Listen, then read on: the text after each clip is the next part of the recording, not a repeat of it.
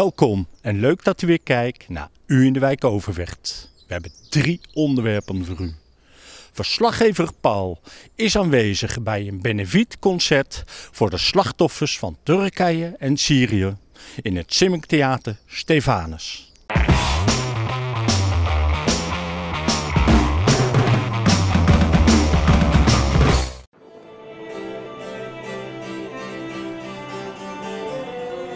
Vandaag zijn we bij Stefanus en Zimmik, waar een benefietconcert wordt gehouden voor de aardbevingsslachtoffers in Turkije en Syrië.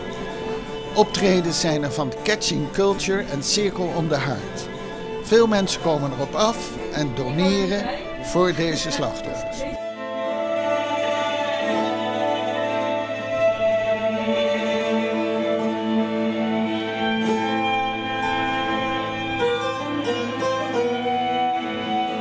Katelijn, ik zie daar heel veel geld liggen in, in, uh, in de bak. Wordt er al zoveel gestort door de mensen hier uit Overvecht? Ja, zeker. Ja, ik heb uh, hier vandaag uh, 1000 euro opgehaald al aan de deur. En dus ik denk dat dat nog meer wordt. Maar online was er ook al een flink bedrag opgehaald. Ik denk in combinatie met iets leuks. Um, dus muziek en straks ook eten. Maar vooral uiteindelijk om de slachtoffers van de aardbeving ja, iets te geven uiteindelijk.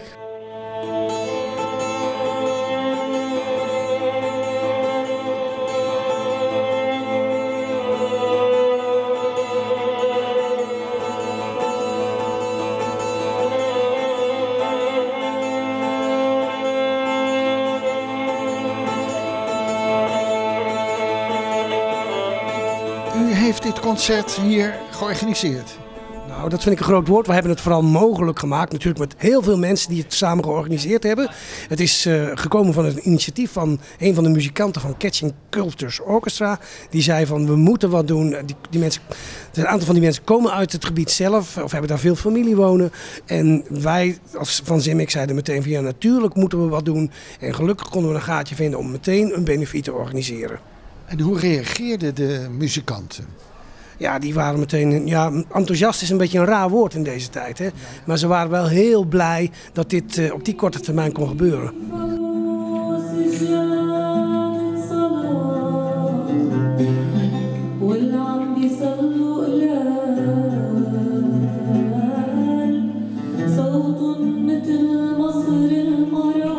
En jij komt dus muziek maken ter ere van uh, de mensen ook die. Uh, die getroffen zijn?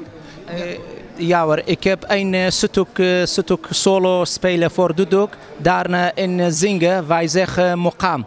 Mokam betekent verhalen zeggen voor deze mensen overleden voor in Turkije in, of Koerdistan, Syrië.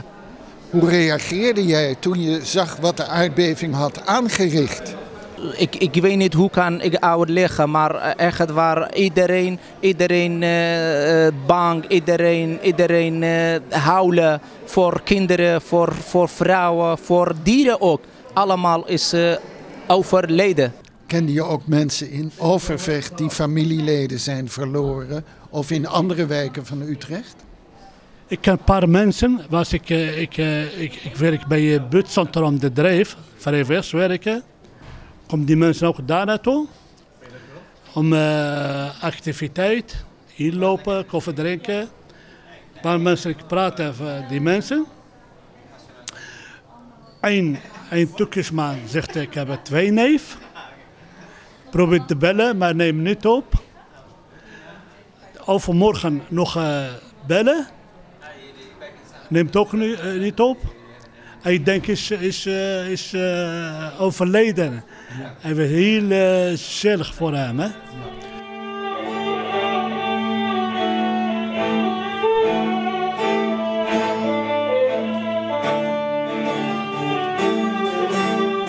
Jouw orkest doet ook mee. Zeker, mijn orkest dat is uh, Catching Cultures Orchestra. Dus het hele orkest is betrokken bij deze verschrikkelijke ramp. Zeker, zeker. Uh, absoluut.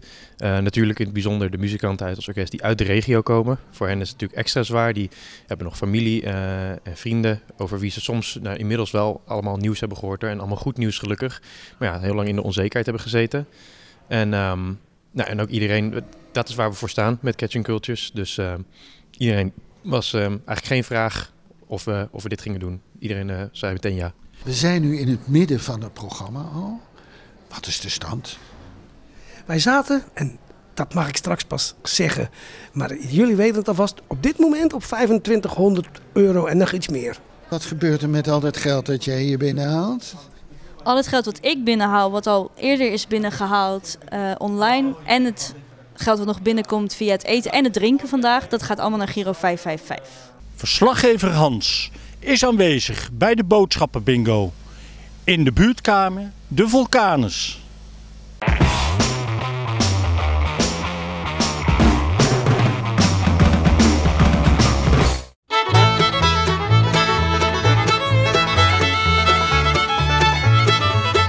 Mensen vinden het gezellig met elkaar te zijn. Nou, dat is ook bij de Vulkanusdreef. Maar wat gebeurt er? Er is bingo. Nou, wat is er nou leuker aan bingo? Nou, een eh, koffiezetapparaat misschien? Nou, ze gaan iets anders doen. Ze gaan boodschappen winnen. Een hele tas vol met boodschappen. Nou, wie wil dat niet? Nou, in de Vulkanusdreef, dan willen ze het zeker. Waarom hier bingo eh, en niet eh, lekker buiten? dicht bij huis is. En ik woon hier bekend om het hoekje, dus dan kan ik gauw hier naartoe om te bingoen. Bingo is voor u ook een lekker uitje. Ja, ja, ja. Ik ben alleen, dus uh, zo vermaak je eigen maar.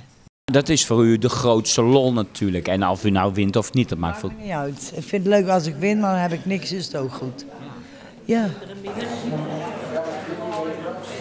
Weer een gezellige vrouw die van bingo houdt. Ja, zeker weten. Het is dat ik uh, hier in de buurt bingo's. Twee keer in de maand. Het liefst uh, ging ik nog meer bingo's af. Maar uh, ik, ja, ik ben gebonden aan mijn scootmobiel. En ik ga niet te ver weg. Dus dit is lekker in de buurt. Dus, en ik vind het gezellig hier. Komt er al jaren. Dus, en we zitten altijd met dezelfde groepje. En uh, ja, je bent er weer even uit, hè. Ik ben blij dat die mensen het hier doen. Ja. En uh, het zijn schatten van mensen die het allemaal vrijwillig doen. En uh, ja, daarvoor kom ik hier graag. Dit doen jullie vaak? Nou, we zijn eigenlijk de hele week uh, bezig. Uh, Smalen s'avonds hebben bijvoorbeeld klaverjassen. Dinsdags inloop. Woensdags één keer in de maand dan deze middagbingo. Dan hebben we nog klaverjassen natuurlijk op de donderdag. En vrijdag één keer in de maand. Maar dat is eigenlijk meer een buurtbingo. Het gaat er ook met geld. Die middagbingo, die boodschappenbingo is echt gericht op een heel klein beetje geld wat het kost. En de mensen krijgen er ook heel veel bruikbare boodschappen voor terug. Die geldbingo is eigenlijk vanuit de buurt herstaan, al 23 jaar geleden. En die is hier eigenlijk voortgezet, vandaar dat ik ook hier nu loop. En dat is echt een geldbingo. Maar dat is op de vrijdagavond, één keer in de maand. Maar ja, dan is de prijs van zo'n kaartje ook duurder, denk ik, of niet? Ja, met, de, met deze tijden is alles duur, maar... Ja, dat klopt ook. Uh, nu, zoals vanmiddag, kunnen de mensen spelen voor zes rondes voor 7,5 euro. En dan krijgen ze een boodschappenwaarde mee van minimaal 25. Dat, met de vrijdag is het 15 euro. En dan heb je 10 rondes en dan gaat het om geld van 30 euro volle kaart. En een boodschappenronde soms ook van 150 euro hoor. Dus dat is toch heel iets anders. Wat is het verschil tussen uh, dit, deze bingo boodschappen of een koffiezetapparaat winnen? Ja, dat maakt mij niet uit, echt niet. Ik heb nou uh, pannenkoekmix gewonnen. Het is ook met deze tijden, alles wordt duurder. En... Klopt, klopt. Ja, je moet uh, goed opletten. Alles is duurder, in de, vooral boodschappen. Dus goed op de prijzen letten. Ja. Maar ja, ik heb nu weer een mand gewonnen. Rob moet hem zo naar beneden dragen, want uh, hij is niet te tillen. Het is volle bak. Dus het zijn leuke prijsjes. Hè? Maar dus wat u al zegt, als u het al hebt, dan gaat het ook weer ja, naar... Ja, zoals die nootjes, die uh, gebruik ik niet. Er zijn meer dingen die ik niet gebruik thee niet, uh, noem maar op. Nou, daar heb een ander dan, een van de kinderen weer wat aan. Zo doe ik het. Tot slot, verslaggever Paul is in gesprek met Michel Blokker, oud-trainer van VVJ.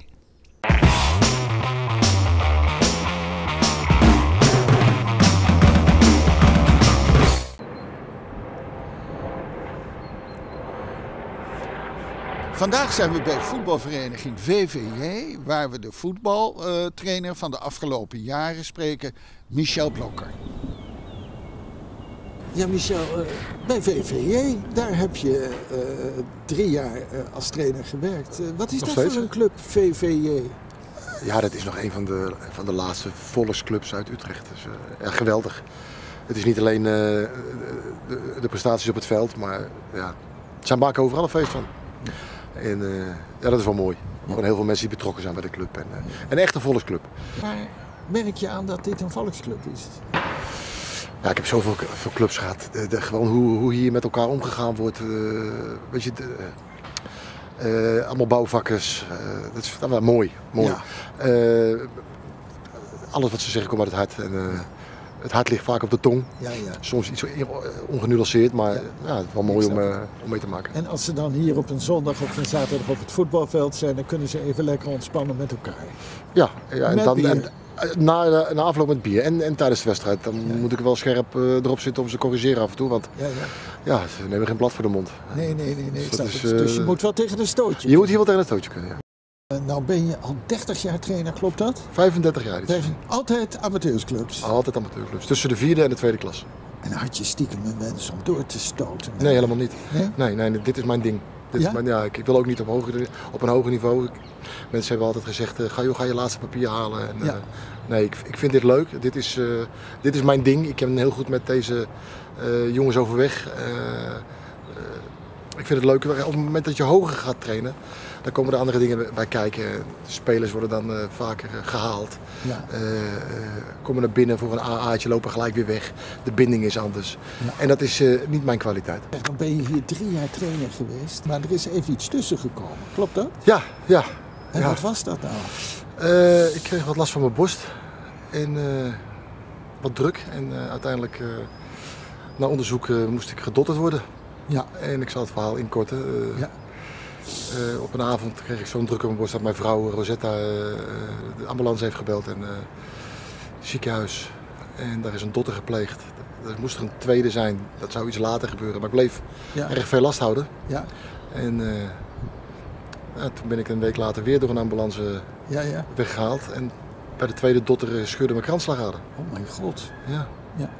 Maar hier sta je levend en wel en met een gezonde blik. Dus, Vijf eh, maanden geleden, ja. ja. Is, eh, is het euvel nu eh, over? Of, Ja, ik heb, ik heb twee weken in, coma gelegen. Ik heb heel veel complicaties gehad. Eh, je, je, bent een sterke, fitte vent. Ja. Waar niet meer veel van over is. Dus ik ben nu heel langzaam weer aan het opbouwen. Ja. Maar dat valt nog wel dat valt nog vies tegen. als je nou kijkt naar vroeger, was je zelf een goede voetballer? Ik kon een aardig balletje haken, ja. Ja? Ja. Kun je daar iets over zeggen? Eh, ik ben begonnen bij de VV Utrecht. Ja. Inmiddels bestaat dat niet meer. Dat is samengegaan met Zwaluw vooruit. Het is Ja. nu Zwaluw Utrecht.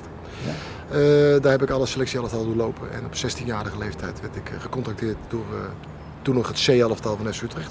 Wat leuk. Ja, dat was hartstikke leuk. Ja.